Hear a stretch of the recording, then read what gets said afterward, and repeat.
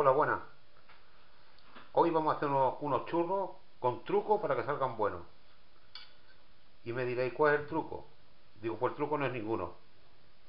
El único truco que tienen los churros es que contra mejor ingredientes usemos, con mejor calidad saldrá el churro. Si usamos un aceite bueno, si usamos una harina buena, si le damos el punto justo a la masa, ahí está el truco del churro. Yo voy a hacer lo que cuentan, lo que cuentan. Mitad un vaso de harina y un vaso de agua. Y voy a ver si con esta cantidad con esta cantidad me sale la masa que yo busco, porque yo busco una masa esponjosa, no busco una masa seca. Bueno, lo haré con, con esta churrera que va muy bien. Y ya le he echado media cuchara de sal a la harina. Vale, no pasa nada. Cuando esté, no le echo levadura, ¿eh? le echo un poquito de sal, media cucharadita de sal. Levadura no le echo, porque si le echo agua hirviendo, la levadura no hace efecto. La harina que uso es harina de fuerza, una harina normal. Y el aceite que voy a usar va a ser un aceite de girasol. Pero si ya os digo, si usamos mejor material, mejor materia prima, mejor saldrá los churros, pero haciéndolo de una forma simple, salen perfectos. Tan buenos como la churrería.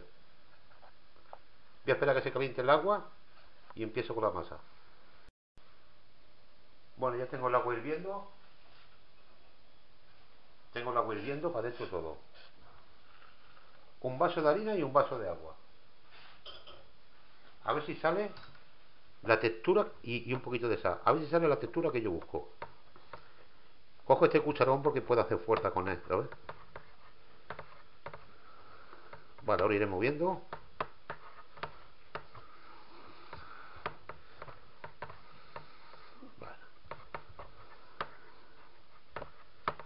Vale, pues para mí, de momento, la masa está seca.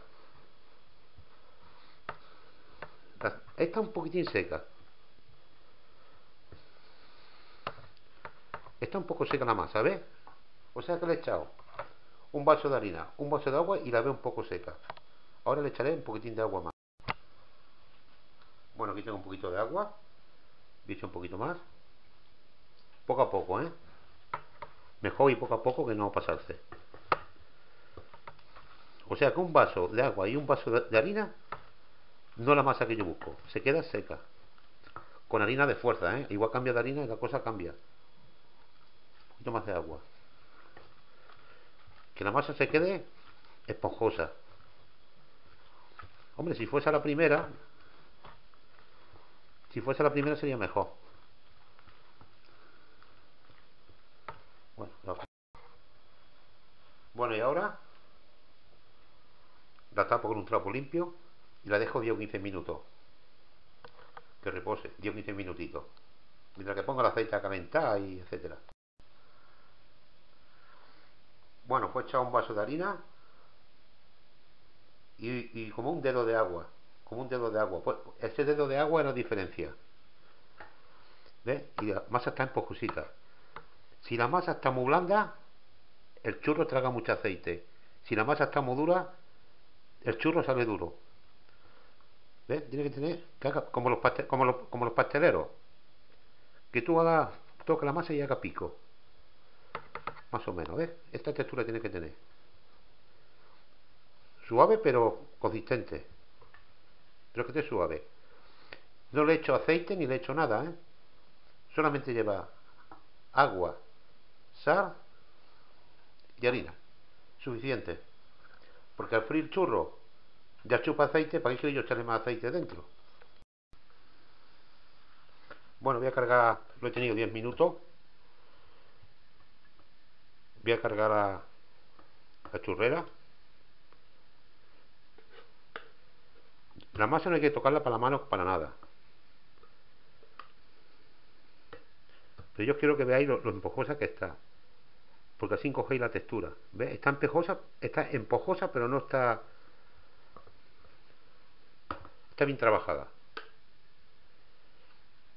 Porque mientras que le busco el punto bueno, no le busco el punto bueno, le doy 8 o 10 vueltas más. Pues mejor, eso no sobra. Bueno, esto ya para lavar. Yo siempre con mi cucharón. El día que me falte el cucharón estoy perdido. Porque me va bien para todo. Bueno. Bueno.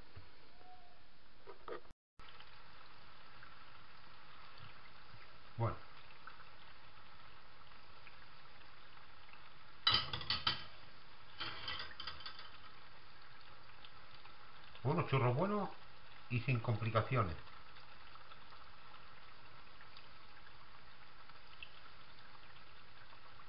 Este aceite lo he usado yo un par de veces. Mientras que no ahumee, se puede usar aceite unas cuantas veces. No está la vida para tirar nada.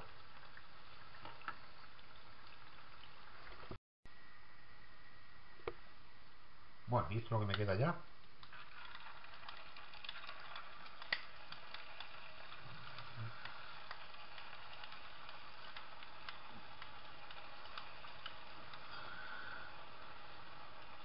Lo que hay.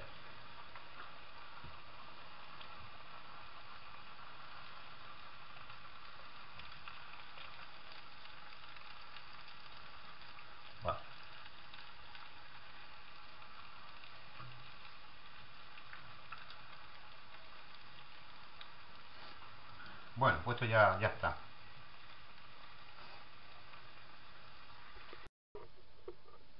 Bueno, pues ya ya tengo los churros hechos. Le voy a echar una poquita de azúcar. Ahora que están calientes.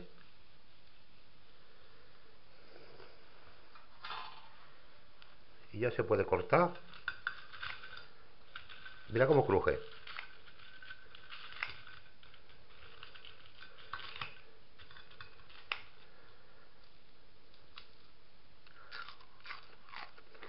Crujen que no vea. Bueno, pues ya están los churros hechos, buenísimos, ¿eh? Churros buenos y complicaciones. Si complica la vida a nadie, que es lo que interesa. Bueno, un saludo, que vaya bien.